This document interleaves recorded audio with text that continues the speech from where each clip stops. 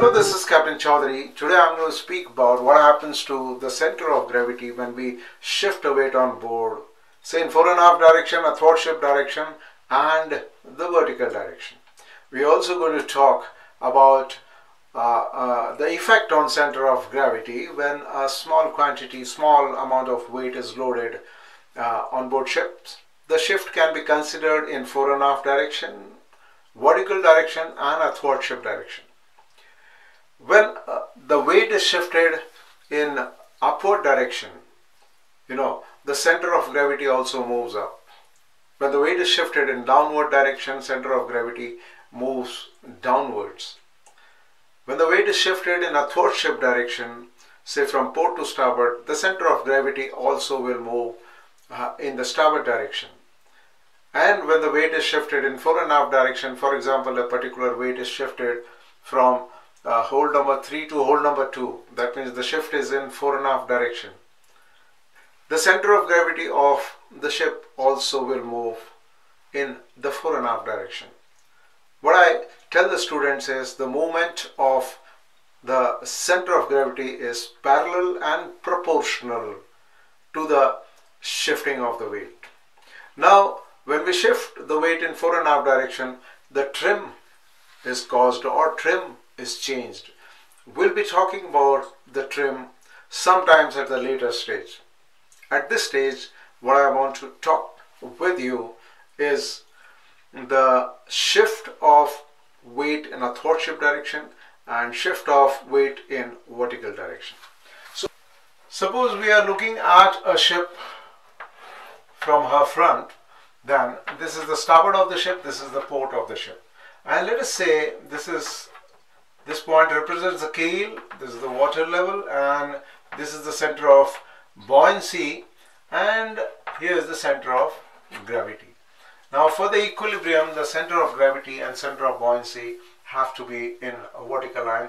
Let us say the vessel is in upright equilibrium. Equilibrium, I will repeat, is the state of rest. Equilibrium means all the forces and moments acting on the ship, they are balanced. Equilibrium also means that center of gravity and center of buoyancy are in vertical line. When we talk about the ship, equilibrium also means that on the GZ curve, the righting lever GZ is equal to 0. Now, let us talk about shifting of a weight. There was a weight over here. Suppose the weight is shifted this way. Then parallel and proportional to the shift of weight, the center of gravity will also shift to a position G1. Now, what happens because of this shift? Uh, what happens because of this shift? Definitely anyone would say that the ship would get listed we will talk about the list at some later stage but at the moment uh, let me tell you uh, if the weight is shifted transversely and there's no vertical component transversely if it is shifted and let us take a practical example that the displacement of the ship is uh, 15,000 tons. And the weight that is shifted is 50 tons. And the distance we are talking about is say 10 meters. Then this distance GG1 would be W into D upon displacement. And that is equal to 50 into 10 upon 1500 15,000 right? So we can find out it is 5 upon 150 that is the uh, distance GG1 so uh, the shift would be 5 divided by 150 that is 0.033 0.0333 meters. So this is how we find out what is the shift that is caused. Now let us assume that the shift instead of uh, in transverse direction the shift is in vertical direction and this weight is shifted downwards by an amount say 12 meters right? So the center of gravity of the ship will also shift in downward direction.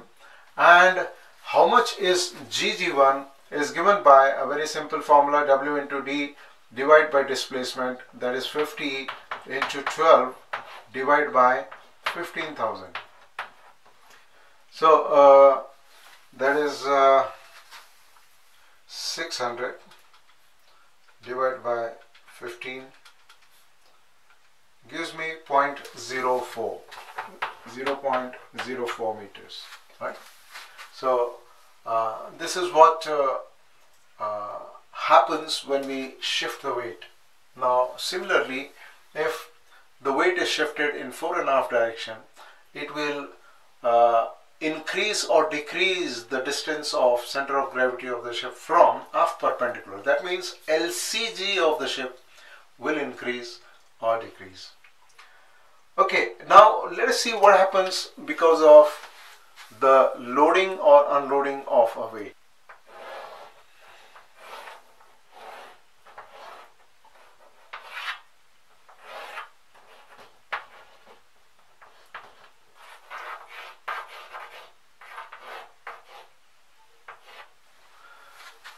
Here is the center of gravity of the ship. We load a weight equal to say uh, 40 tons over here. Now this uh, 40 tons that is loaded, if we know the distance of this point of loading from center of gravity, suppose this land distance is 12 meters, right? And displacement of the ship is, originally it was say 18,000 tons and final displacement becomes 18 040 tons right so uh, uh, how much will the center of gravity shift? Now center of gravity will shift in the direction of point of loading. So g will come to this point g1 so if we want to know the straight line distance if we know this distance 12 meters then we say that the shift gg1 is equal to 40 into 12 divided by 18,000 plus 40. So let us see how much it is. Numerator is 480, 480 divided by 18040 gives me 0.0267. 0.0267 meters. But generally, practically, we never find out uh, a distance in uh, oblique direction we divide this component into vertical and transverse components. We divide this uh, shift into vertical and transverse components. Now the weight is shifted uh, at a point which is above the center of gravity of the ship. This means that G is going to shift upwards. So what is this upward shift? Upward shift is going to be uh, it's going to be decided by this distance. So suppose this distance is 6 meters, that is from center of gravity to the deck, the vertical uh, separation is 6 meters, then this particular component, that is the vertical shift component, GGV we can call, is equal to 40 into 6 divided by uh, 18040. So we have loaded uh, this 40 ton weight on deck which is 6 meters above the center of gravity of the ship. So vertically the center of gravity will shift so much. This vertical shift is responsible for reducing the GM of the vessel because for small amount of loading we assume that the meta center more or less remains at the same position. So if we assume that the meta center remains in the same position then with the vertical shift of G, the GM will reduce. And when the GM reduces, the stability reduces. And we can also find out what is the transverse component. So suppose from the center line, from the center line, this distance is 8 meters. Then the transverse shift that is GGH will be given by 40 into 8 divided by 18040. Now this transverse shift is responsible for causing the uh, list.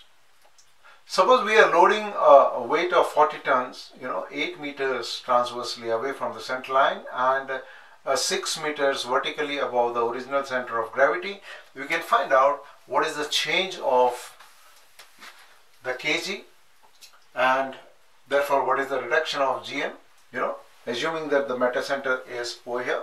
And we also find out what is the transverse shift and the transverse shift amount that is the GGH is responsible for providing the list to the ship.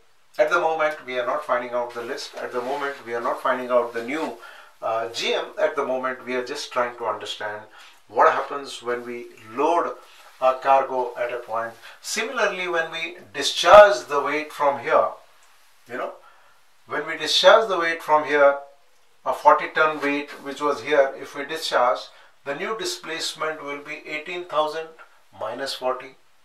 And also when we discharge the weight from here, the G instead of shifting in the direction of weight, it will shift in a direction opposite to the point of discharge, you know. And similarly, we can find out what is the reduction in kg, right? And what is the list that is going to be caused, you know.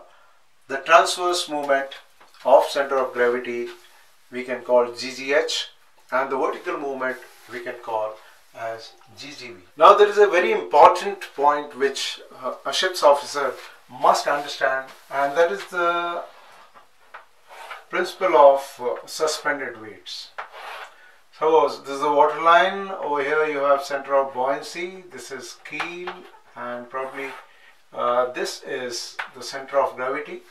And suppose you have a crane on board and you're wanting to lift a weight.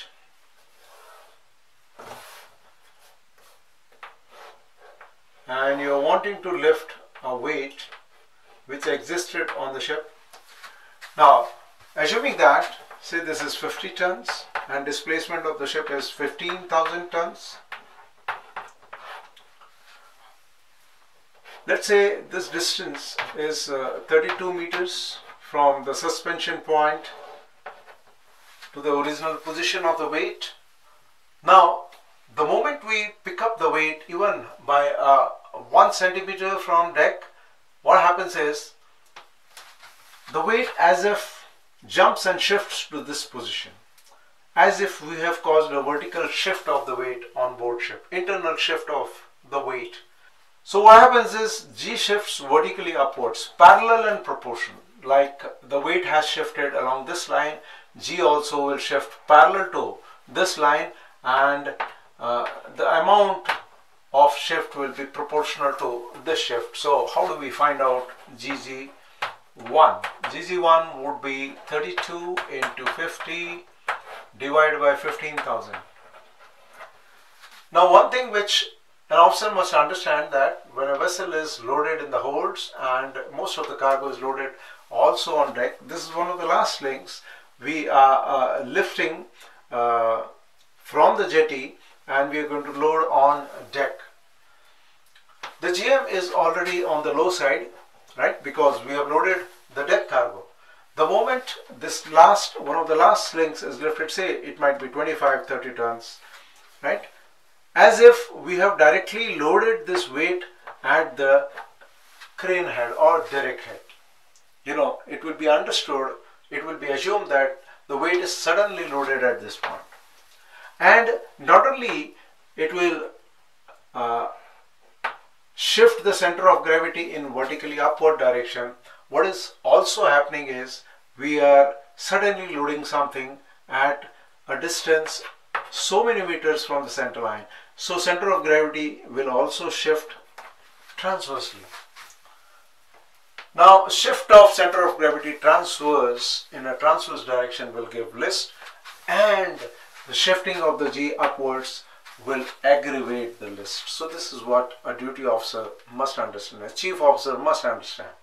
We will do numericals on this uh, in my next video. At the moment, let us understand that uh, center of gravity of the ship moves in fore and aft athwart ship and vertical direction because of loading, discharging, shifting, etc.